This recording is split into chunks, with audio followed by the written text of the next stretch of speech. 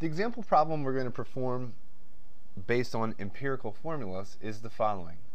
A compound was analyzed in the lab and found to contain 69.6% manganese and 30.4% oxygen. What is the empirical formula of the compound?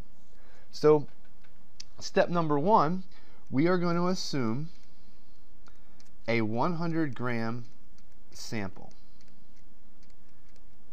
If this is the case, we will have 69.6 grams of manganese and 30.4 grams of oxygen.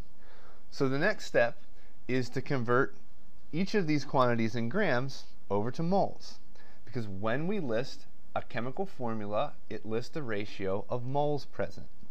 So here we have 69.6 grams of manganese times, if we look on the periodic table, there are 54.94 grams of manganese in one mole of manganese. This gives us 1.27 moles of manganese. Next, we take the 30.4 grams of oxygen times 1 mole of oxygen in 16.00 grams of oxygen. This gives us 1.90 moles of oxygen. So now we've determined the number of moles for each element, and we now need to divide by the smallest number or of, of moles. So that's going to be the 1.27. So we're going to divide both of these numbers by 1.27. That gives 1.00 moles of manganese and that's going to give 1.496 in terms of the moles of oxygen. So the next step will be to multiply by a factor to get whole numbers.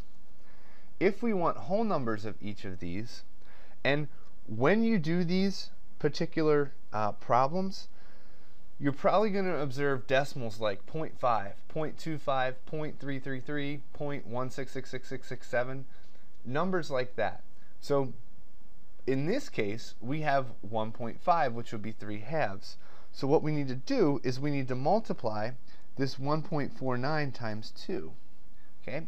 When we do that, that's going to give us a whole number factor, or it's that's going to equal 2.992, which we can just assume is going to be 3.